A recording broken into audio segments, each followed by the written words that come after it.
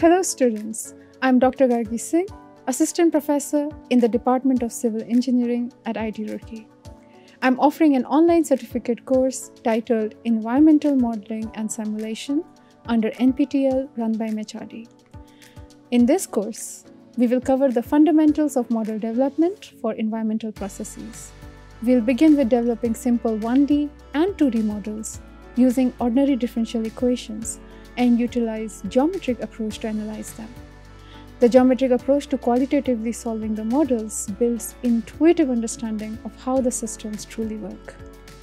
This course also covers the environmental transport models in depth, which we'll derive from scratch. Given the focus on model development in this course, the skills acquired here would enable students to use and improve the novel and less familiar models with ease.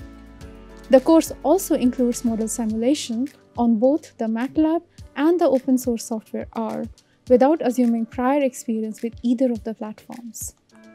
Undergraduate, postgraduate, and doctoral students from both engineering and mathematics background can enroll in this course.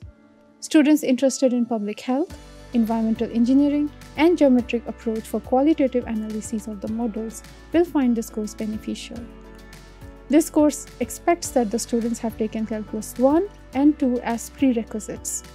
I expect students to solve the questions along with me during the lectures for grasping the concepts and understanding the common pitfalls better.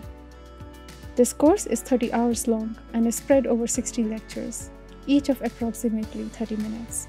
During the course, assignments will be given to you, which will be evaluated at our end. At the end of the course, an examination will be conducted for those who are interested in getting a certificate. Thank you for your interest in this course. I hope to see you in the class.